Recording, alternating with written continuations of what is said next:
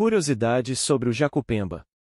1. A jacupemba é uma ave da família Crassidae, com o nome científico de Penelope superciliaris. 2. Ela pode ser encontrada desde o estado do Amazonas até o Rio Grande do Sul, e alguns indivíduos podem ser vistos no Paraguai. 3. Ela é um dos poucos membros da família Crassidae que ainda sobrevive em pequenos remanescentes florestais de baixa altitude, onde desempenham importante papel de dispersão de sementes. 4. A jacupemba é uma ave frugívora, embora se alimente também de flores, folhas e alguns invertebrados.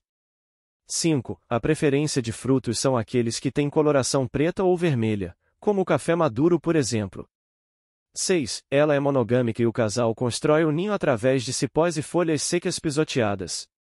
7. O período de reprodução acontece nos meses de outubro a março. 8. A fêmea fará a postura de três grandes ovos de coloração branca. 9. O período de incubação é de 28 dias e assim que nasce o filhote ficará alguns dias com os pais.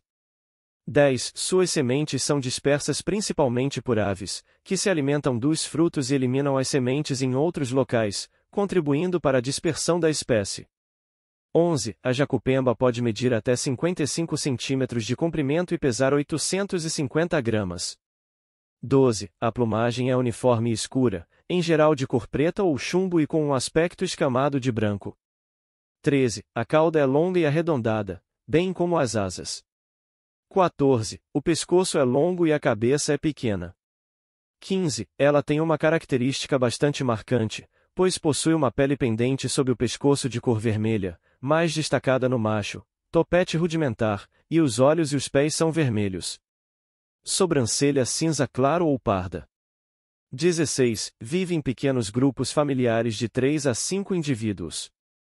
17. O jacupemba pode ser reproduzido em cativeiro, o que facilita os programas de repovoamento. 18. De modo geral, seu habitat é em matas, cerrados, capoeira e caatingas. Se gostou do vídeo, deixe seu like, inscreva-se no canal, e até o próximo vídeo.